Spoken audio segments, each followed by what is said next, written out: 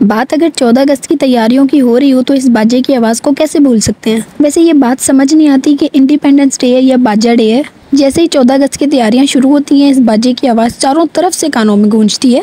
वैसे independence day है तो हर किसी की आज़ादी होनी चाहिए ना कि कौन किस तरह से इस दिन को मनाता है। तो बस फिर यही कह के दिन को तसली दे देते हैं, क्योंकि इन बाजों से जान छुड़ाने का कोई और रास्ता नहीं है। और सुनाए, अपनी बच्चियों के लिए चौदह अगस्त की ड्रेसेस बना ली हैं। और अगर नहीं बनाया तो ये वीडियो आपके लिए ही है। क्योंकि इसमें सेवेंटी प्लस डिज़ाइन हैं बच्चियों के चौदह अगस्त के सूट के। वैसे ना, इसमें कुछ रेडीमेड फ्रॉक्स भी हैं, लेकिन वो इस तरह के डिज़ाइन हैं कि हम इजीली खुद बना सकते हैं तो मैंने इसलिए जो है वो पिक्चर्स भी इस वीडियो में ऐड कर दी थी।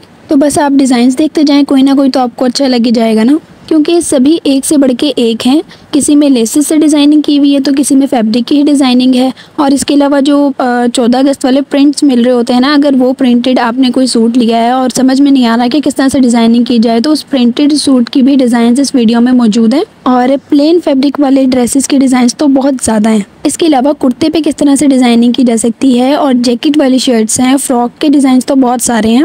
ट्यूलिप के साथ शॉर्ट फ्रॉक्स के डिज़ाइन भी हैं। बस मुख्तसर ये है कि अन्य वाले डिज़ाइन हैं।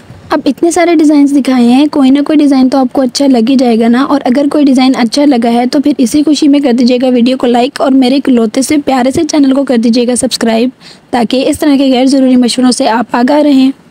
और कोई भी डिज़ाइन अच्छा नहीं लगा ना तो रेडीमेड ले लेना।